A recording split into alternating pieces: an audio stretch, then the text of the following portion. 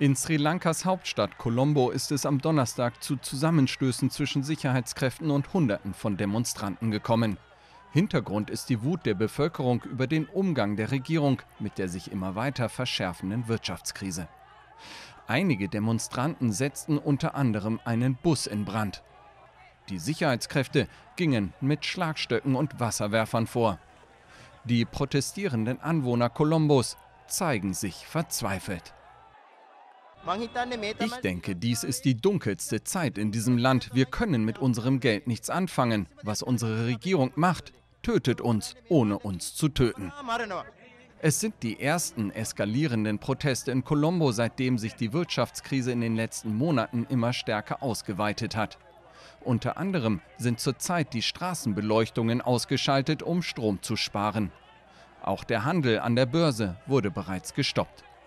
Darüber hinaus gibt es auf Sri Lanka Engpässe bei lebenswichtigen Gütern sowie stark steigende Preise.